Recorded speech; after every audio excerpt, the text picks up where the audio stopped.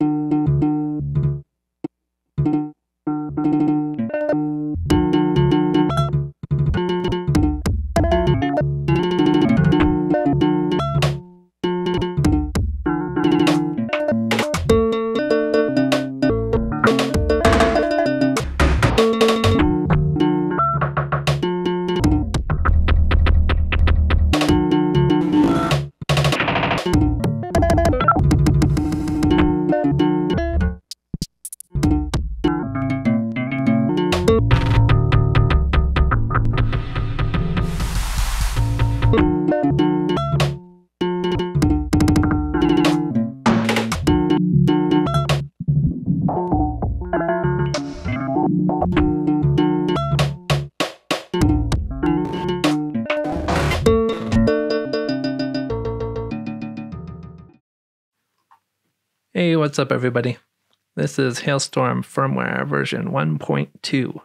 If you have already installed the beta of 1.2 and already seen the beta video, then there actually won't be any new information here and you are all set.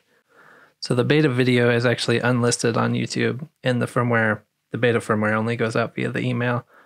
So this is the official video that will be listed and the firmware will now be available to download on the site definitely subscribe to the email list if you're interested in trying out the betas before they go live on the site.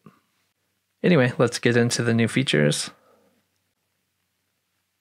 So when powering up, you'll see the two columns in the center light up teal after the initial animation, and that'll let you know that you are on 1.2.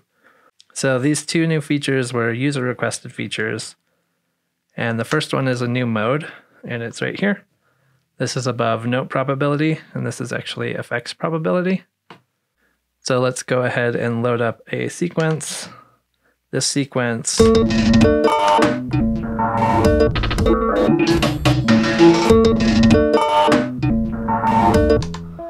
So obviously that sequence is very heavy in effects.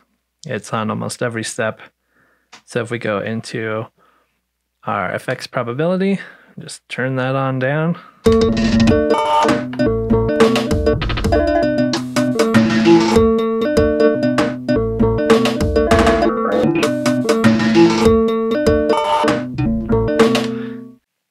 And yeah, this can be a really cool thing to just add variety to a sequence just by turning down the probability of effects.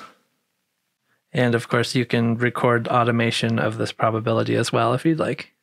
So the second feature is this concept of sets. So normally when you go into load, you have only 12 sequences and 12 sample kits.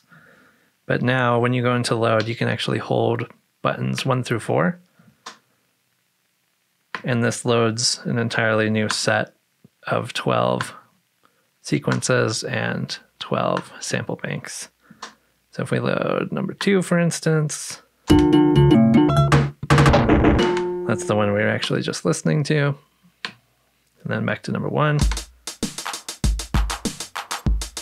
So yeah, this is not a performable action. It does need to access the SD card to do this, so it will stop the sequence. Yeah, it just allows you to have a lot more samples and a lot more sequences loaded if you'd like. The file structure of the SD card does need to change to accomplish this, so definitely read through the manual and make sure you have your files set up properly. But yeah, those are the two new features for version 1.2. Hope you guys enjoy them and let me know what you think. All right, bye.